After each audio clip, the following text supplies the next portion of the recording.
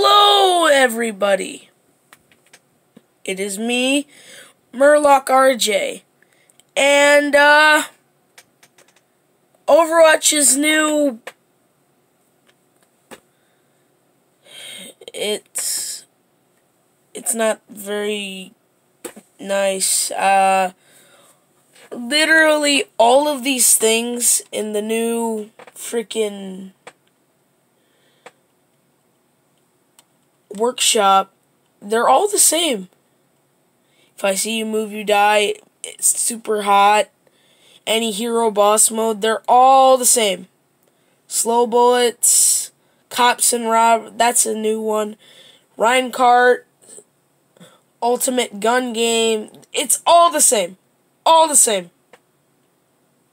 There's barely any originality now. Before, I used to find original games. And the workshop,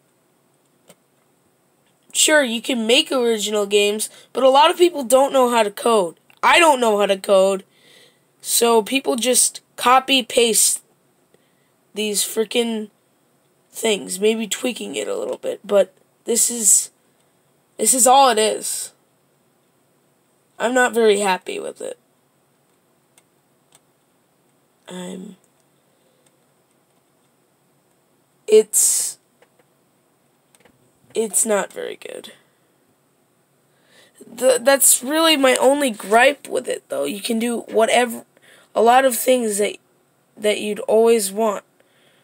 But it's not what I'd hope it would be.